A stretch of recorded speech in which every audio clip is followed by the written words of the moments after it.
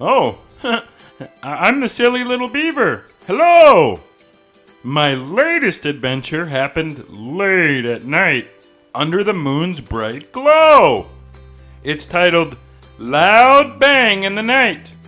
I fell out of bed uh, because of the loud noise and a strange bright light. Goodness, I ran so fast to see if I could assist. My good friends said they were sorry, but no help was needed at night. They did insist. What a good lesson I learned from that night with my friends. When you're done with the book, please leave a comment. I monitor what everyone recommends. Thank you so much for taking the time to watch. Enjoy! Ugh, I'm hungry again? I just ate. Ugh. Out comes a beaver, jumping on wood. Silly little beaver, jumping on wood. Out comes a beaver, jumping on wood. Silly little beaver, jumping on wood.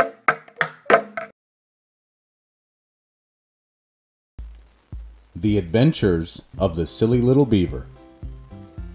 Loud Bang in the Night. Written and narrated by Luke Deline. Illustrated by Lene Deline. Blurt! A loud noise rang out in Beavertown, startling the silly little beaver as he was sleeping so sound. What was that noise? He yelled as he fell out of bed. He got up and ran to the window, holding his head. As he peered outside into the night, he noticed off in the distance some sort of bright light.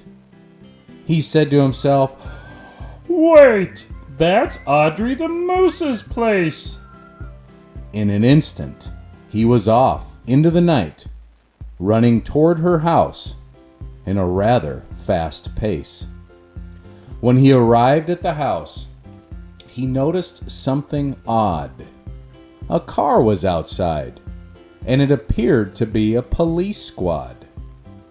There in the house, alongside Audrey, stood Douglas the Deer, who was a local cop. He also owned the hardware shop. They appeared to be laughing and telling each other jokes. The silly little beaver was excited, since they were both good folks. He shouted, Hello! and caught them off guard. They both came outside and join the silly little beaver in the yard. Is everything okay? The silly little beaver said, still holding a cold towel up to his aching head. Yes, of course. Why do you ask? said Douglas, concerned. I came to visit Audrey. She had some books from the library needing to be returned. Relieved, the silly little beaver replied, I heard a super loud sound coming from here. When I arrived, I was surprised to see my friend, Douglas the Deer. I'm so sorry about that, began Audrey with a frown. We were trying to take that old windmill wheel down.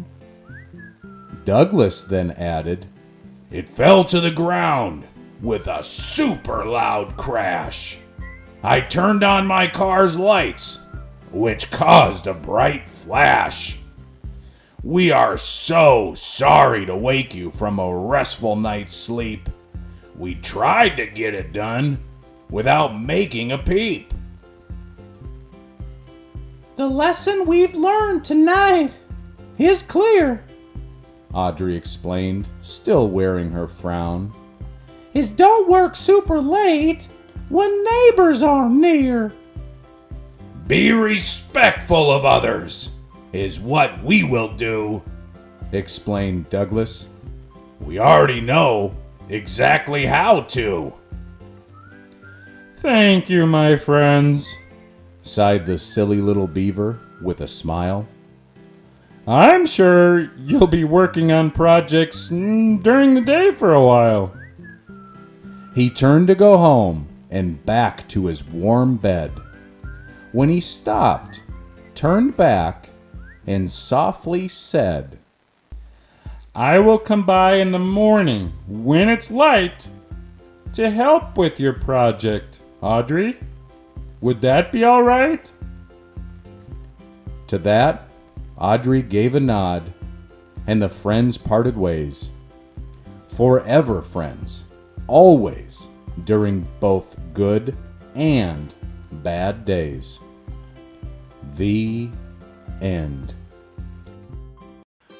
Thank you for watching the animated version of my book series, The Adventures of the Silly Little Beaver. We have many more books being released soon, so please click on the subscribe button now. Thank you again and enjoy your day. I'm off to find some wood to eat now. Bye bye!